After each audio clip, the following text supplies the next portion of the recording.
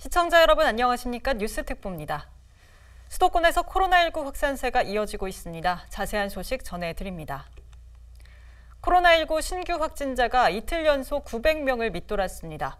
최근 한파가 지속됨에 따라 의료진 보호를 위해 7일부터 10일까지 나흘간 임시 선별검사소 운영 시간을 단축합니다. 이 기간에는 오전 11시부터 오후 3시까지만 이용할 수 있습니다. 브리핑 내용 직접 들어보시죠. 네, 어, 1월 6일 수요일 정례 브리핑을 시작하겠습니다. 오늘 0시 기준 어, 국내 발생 환자는 809명이고 해외 유입은 31명입니다. 어제 임시 선별 검사소를 통해 확인된 환자는 총 121명입니다. 어제는 20분이 돌아가셨습니다. 고인들의 명복을 빌고 유가족들께는 심심한 위로의 말씀을 드립니다.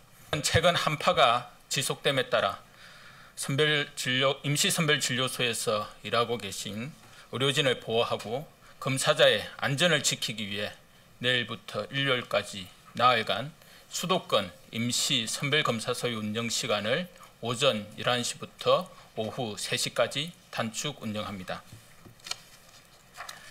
다음 주부터는 다시 모든 검사소가 정상 운영될 예정입니다.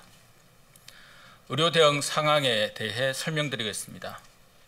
의료 체계는 현재 여력을 상당 부분 회복했으며 수도권에 하루 이상 대기자는 사흘째 0명입니다.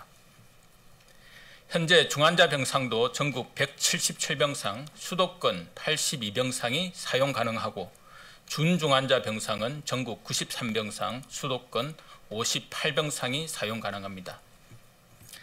중등증 경증 환자를 위한 병상도 감염병 전담병원과 생활치료센터를 합하여 현재 천, 아, 만천 병상 이상의 여유가 있습니다. 그간의 선제 검사와 국민들께서 참여해주고 계신 거리두기를 통해 느리지만 효과가 나타나고 있습니다.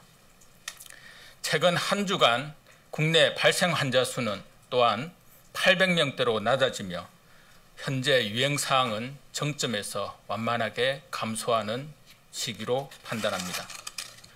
최근 요양병원 시스레스의 집단 감염에 대한 대응에 대해 말씀드리겠습니다.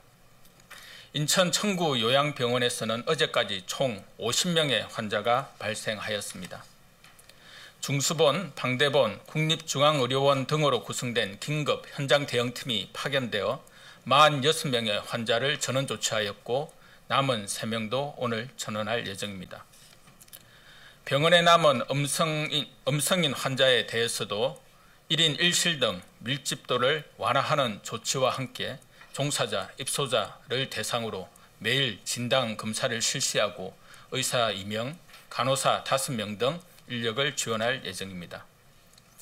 지난 주말 수도권의 이동량을 보면 다시 직전 이전 주에 비해 약 5% 감소하며 거리두기 2.5단계를 실시한 이후 계속 감소하는 추세를 이어나가고 있습니다.